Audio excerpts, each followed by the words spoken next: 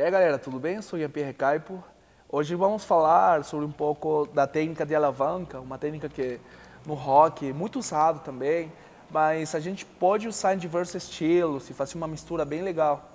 Então, para isso, a gente hoje vai estudar também a técnica de ligados, que vou começar mostrando, e a diferença sobre um quarto de tom também. Agora vou mostrar é, a técnica de ligado, a gente vai começar entrando é, nos quartos de tom.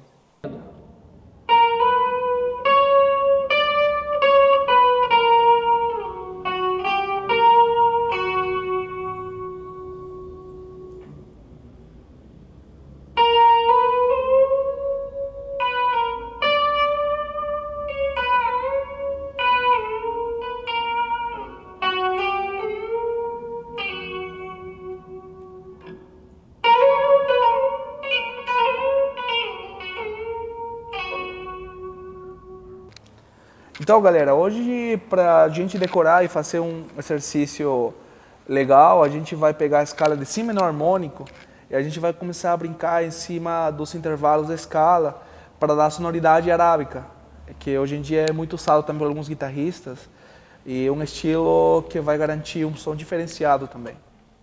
É... Nossa primeira opção vai ser aqui, Si menor harmônica e usando a primeira corda. Vamos lá. Agora a gente vai usar a primeira corda, mas a gente vai pegar os intervalos da escala menor harmônica, Si menor, no caso seria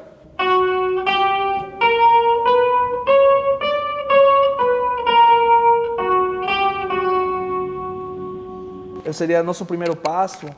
E o segundo passo seria começar a usar a alavanca, só que a gente vai ter que fazer uma leve vibração para baixo com a alavanca para gerar aquele som. Então, Vou fazer nota por nota usando essa técnica.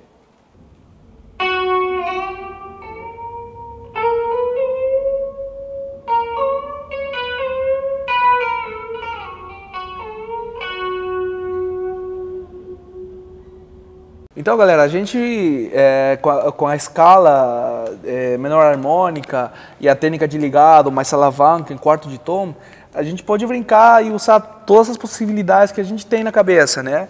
Por exemplo, se eu colocar com distorção, eu posso...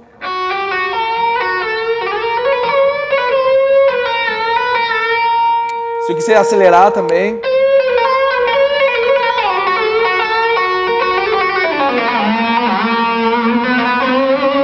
E também serve para ter mais técnica, uma boa postura também, tudo mais. A gente pode variar segundo o estilo, gosto pessoal.